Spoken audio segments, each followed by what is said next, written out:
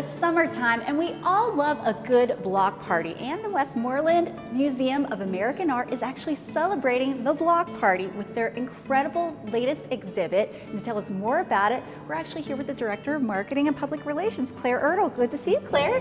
Hi, hi Daisy. Thanks for being here. I'm so fascinated by this because of course this brings back such good feelings of summertime and community and celebration. So tell us more about the block party.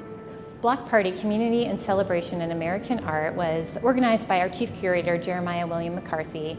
And it really um, uses the lens of the block party to look at artists' um, ideas on community and celebration in both historical and contemporary works of American art.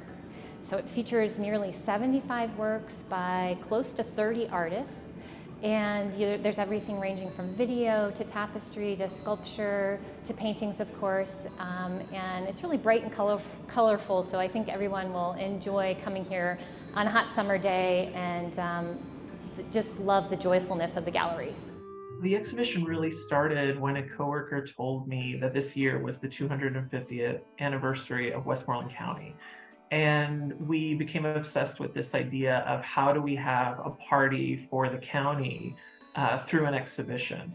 And so I started researching parties, which have a really long history. Um, but one of the most important kind of chapters in that history is the development of block parties, which start kind of around World War One. Um, and they're because people have very few resources, so they kind of take to the streets um, to have a good time and to celebrate things.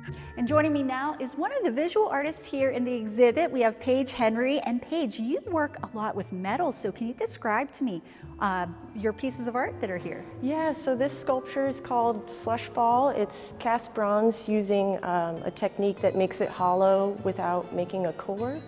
And um, it's probably 20 pounds of bronze. Wow. That's incredible. Now, I'm really intrigued by this. Describe to me what we have going on here. Yeah, so this is part of a like snapshot or moment in time series, and it's cast iron. All the pieces are just one casting, and it probably weighs around 200 pounds. Oh my gosh, and I love the name of this. What's the name of this again? It's called Puked Purse. Puked Purse. Well, I love how creative you are. These are so amazing, and I'm excited you. to check out the rest of the block party here and hope you all can too.